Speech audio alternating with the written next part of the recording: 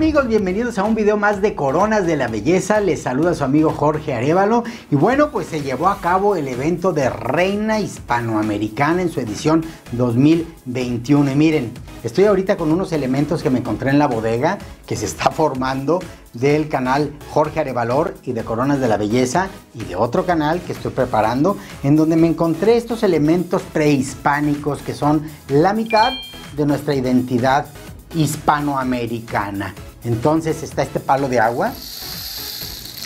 Este lo compré hace unos 4 o 5 años que anduve con Edgar en Teotihuacán, en donde están la pirámide del Sol, la de la Luna y otras más. En este pueblo teotihuacano maravilloso que está, bueno, pues, orgullosamente en México, muy cerca de la capital del país. También está esta otra figura, esta es de la cultura maya, esta la compré en una ocasión que anduve allá en la Riviera, precisamente en la Riviera Maya. Una chulada, hay que conservar nuestras tradiciones. Y este artefacto también lo compré en Teotihuacán.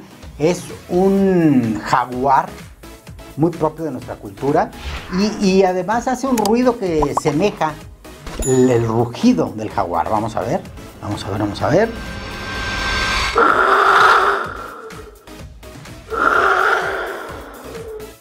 Parece.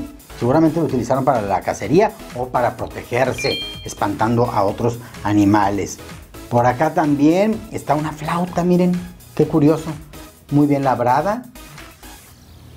Muy pequeña, me recuerdo que había más grandes. Y bueno, sí tiene el sonido mm, ligerito por ahí, porque entre más grande pues reproduce mejor el sonido de las flautas de barro y de madera, de carrizo, que se utilizaban eh, pues antes de que llegaran los españoles a la conquista. Vamos a ver.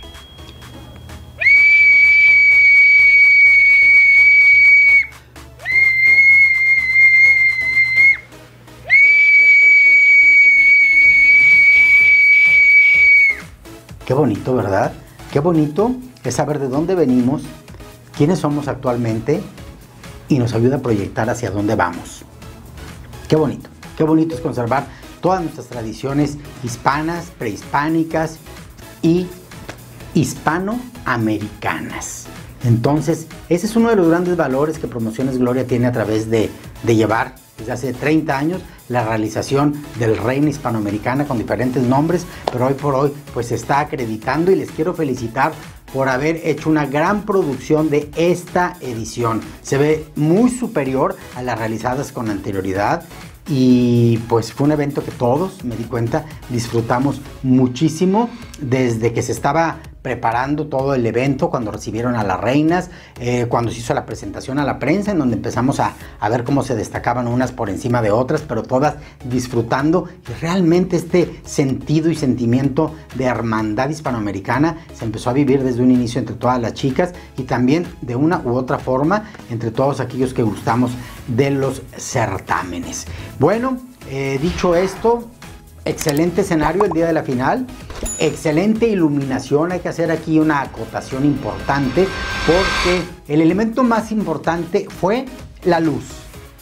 Las pantallas LED con las que estuvieron dándole ambientación y atmósfera a, a, lo que ocurría en cada etapa del evento se vieron hermosos, no eran cuadradas, tenían formas irregulares y eso le dio un lucimiento excelente en HD, Full HD, las imágenes que estaban eh, proyectando y eso realmente a mí me pareció exquisito, me pareció de muy buen gusto y cuando hay mucha luz que tienes en la parte de atrás del escenario, por lo general eso mata eh, la iluminación que tienes para el rostro, el cuerpo y toda la figura de quien está sobre el escenario.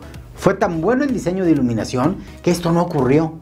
Y entonces lo que se vio fue rostro, se vio el cuerpo, se vio lo que lucía en el escenario. Realmente impactante, no grande el escenario, lo suficientemente en dimensiones, pero lucidor al 100%. Las conductoras cumplieron muy bien con su encomienda, un guion perfectamente hecho en donde no hubo paja, es decir, no hubo rellenos y ahí se logró que no perdiéramos la atención y estuviéramos viendo puntualmente lo que se estaba haciendo desde que vimos a la primera participante en escena hasta que se coronó a la ganadora. Realmente me gustó mucho. Los vestuarios de la mayoría que llevaron ellas, excelente. Los que les facilitó la producción también durante todo el certamen, muy bien también. Así es de que sobresaliente la calificación para este evento. Y bueno, vamos a recapitular. Este evento lo vi ayer ya diferido, no lo pude ver en vivo porque estaba trabajando en otras cosas, pero me dio gusto que a la chica de Costa Rica, que siempre estuvo pues en muy buena lid como la mayoría o todas ellas, se llevó este reconocimiento de sus mismas compañeras, que es el premio de mis amistad y simpatía. Así que felicidades Costa Rica por este premio. Y bueno, llegó el momento de, nombrar a las 12 semifinalistas y ellas fueron Filipinas, Emanuel Vera, Colombia, María Alejandra Bengoechea,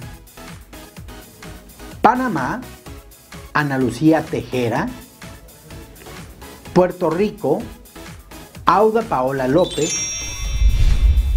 Brasil, Bruna Sanardo, Haití, Whitney Lundi, Venezuela, Andrea Romero, Portugal, Teresa Agonia, Chile, Paola Enríquez, México, Andrea Basarte, Bolivia, Carolina Fernández y República Dominicana, Caribel Pérez. Todas ellas estaban calculadas para que entraran, eran favoritas. Si acaso me pudo haber sorprendido que entrara eh, Portugal, pero la verdad tampoco, República Dominicana, tampoco estaba yo seguro si iba a entrar o no. Lo mismo Puerto Rico, pero Filipinas, Panamá, Colombia, Brasil, Haití, Venezuela, Chile, México, Bolivia, me parecía que ellas entraban porque entraban y así fue. Me sorprendió que no estuviera ahí eh, Estados Unidos, Hispana. ¿Quién más me sorprendió que no estuviera ahí? Básicamente a la que extrañé nada más fue a ella. Se me hizo que no puede ser Tocuyo porque no era la favorita a ganar. Pudo haberlo sido, en algún momento me pareció lo suficientemente bella y con actitud adecuada para llegar muy lejos. Entonces, si habría, desde mi punto de vista, ¿verdad? Cada quien tendrá su, su manera de ver las cosas. Pero a mí me parece que Estados Unidos hispana, si hay que mencionar un Tocuyo, yo se lo doy a ella. Pero todas las que pasaron, la verdad, muy bien y eran favoritas desde el inicio de la concentración. Bueno, inmediatamente, eh, ya después de que hacen el traje de baño y hacen una pasarela en, en vestido de noche, ya que están las 12, entonces empiezan a nombrar a 7. Eran 6, pero hubo un empate. Y con una pasarela muy sencillita, eliminan de aquí al resto y solamente quedan Venezuela, México, Brasil, Colombia, Filipinas, Portugal y Panamá. Posteriormente les hacen una pregunta a cada una una pregunta distinta. Preguntas de certamen de belleza, preguntas muy actuales. Creo que las mismas preguntas que hemos estado viendo en Mis Mundo, en Mis Universo, en Mis Grand. Digo, ¿qué más van a preguntar? El mundo es el mismo. Entonces, las chicas contestaron, la gran mayoría muy nerviosas, pero se sobrepusieron. La que se nos resbaló un poquito y le costó, creo yo, un mejor puesto o incluso la corona fue a Andrea Romero de Venezuela. Pero fuera de ahí, las demás sí se les notó el nervio, incluso la ganadora, pero bien contestado. Todas con colmillo, todas sabían a lo que iban. Es ahí ya como que se dibujó perfectamente cómo quedó eh, la entrega de premios y la corona. Y así fue como se hizo historia en esta edición. Quinta finalista, Portugal, Teresa Agonia. Cuarta finalista, Brasil, Bruna Zanardo. Tercera finalista, Filipinas, Emanuel Vera. Segunda finalista, Venezuela, Andrea Romero. Primera finalista, Colombia, María Alejandra Bengoechea. La virreina Panamá, Ana Lucía Tejera. Y la ganadora, México, Andrea Basarte. Esta es un poco la crónica de una corona anunciada porque a pesar de que podía ser obtenida por Venezuela o por Panamá desde mi punto de vista y tal vez también Colombia, se fue perfilando Andrea Basarte como la virtual ganadora. Ella iba ya por la corona. Entonces, a mí esto me dolió cuando eh, esta Andrea Romero trastabilló. Dije, ya, ya, ya no, ya, ya no le, ya no se llevó la corona. Pero Panamá lució muchísimo y Colombia durante todo el evento, a pesar de que tiene tremendo potencial y me gustaría verla en otro gran slam, eh, representando a los hermanos colombianos, la sentí que no brilló, la sentí apagada durante todo el evento. Ella quería sacar la casta, ella, yo la veía que cuando estaba en el escenario eh, aventaba toda la fuerza para brillar, pero no llegaba a destacar. No, había visto eso en alguna participante. Yo creo que fue una lucha de la razón contra la energía que proyectaba. Algo ahí pasó que yo nunca lo había observado. Se veía que ella empujaba, pero no lograba levantar. Entonces, yo le reconozco eso, bellísima, con experiencia, con vocación de reina, y tiene mucho que decir y mucho que mostrar de su bello país y de toda Latinoamérica. Así es de que me encantará, ojalá la podamos ver en algún otro gran slam. Todas lucieron más bellas que nunca en esta final. Yo no sé si el equipo de peinadores y maquillistas que las retocaron o que les hicieron el trabajo integral fueron los mejores del país o yo no sé qué pasó, pero esta noche de la final lucieron todas bellísimas, mejor que nunca. Muchos vestidos bonitos, muchos regulares y uno que otro muy feito. Pero la verdad creo yo, y siempre lo he dicho, levanta un vestido pero no hace a la reina. Así es de que creo que todas cumplieron muy bien, pasarelas calmadas, un escenario que no les ponía trampa mortal a ninguna eso de tanta escalera, tanta rampa, son eh, obstáculos como en el atletismo que les ponen a quienes participan. Y aquí fue un escenario amable, un escenario que les permitió lucirse, un escenario bello y la verdad creo que es mejor, la mejor edición que ha tenido el Reina Hispanoamericana. Reina Hispanoamericana. Entonces, muchas felicidades a Promociones Gloria, a la señora Gloria particularmente hizo un gran evento. Y muchísimas felicidades a Andrea Basarte, nuestra mexicana, que logra el back-to-back -back coronada por Regina Peredo.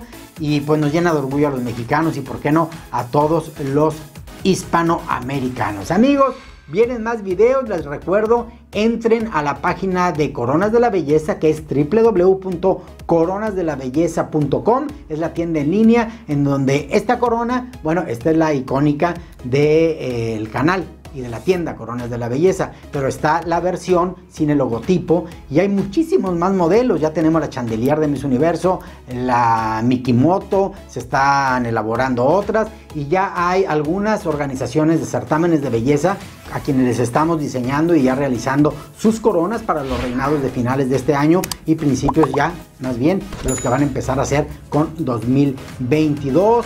Sonora, de Monterrey Nuevo León, de Guayaquil Ecuador, más los que se vayan acumulando, por ahí hay otro, no me acuerdo, pero apenas estamos en las primeras pláticas. Y para todos ustedes, inicien su colección de coronas de la belleza con las tiaras de los certámenes de belleza, con las coronas de los más importantes. Le traigo por ahí ganas a hacer una réplica de la de Miss Grand International. Vamos a buscar también luego la de Miss Mundo y ahí nos vamos a ir poco a poco porque no es tan sencillo. Puedes hacer burdas imitaciones, pero yo busco mucho que sea lo más fiel y exacto a como la vemos, a como está la corona. La chandelier de Miss Universo se tuvo que hacer varias veces porque no me acababa a mí de gustar el detallito, cositas por ahí y hasta que quedó hermosa, está a muy buen precio. Métanse www.coronasdelabelleza.com, chequenla, vale la pena para los que somos coleccionistas y aficionados de hueso colorado para que se vayan haciendo de su gran colección. Lo hago porque de haber existido antes de que yo metiera la mano, mi cuchara y mi recurso económico a esto, a esta fábrica de coronas, pues me hubiera gustado que alguien más lo hiciera. Así es de que amigos, pues un placer haber estado de nuevo con ustedes. Próximamente viene otro video. Les dejo mi mejor energía desde Ciudad Victoria, Tamaulipas, México.